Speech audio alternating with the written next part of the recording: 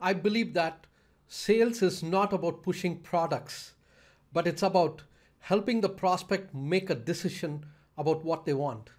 What this means is that sales is not about selling a product, it's about identifying the problem in the prospect's life and providing solutions and options, and then helping the prospect to make a decision about which solution would be better for them.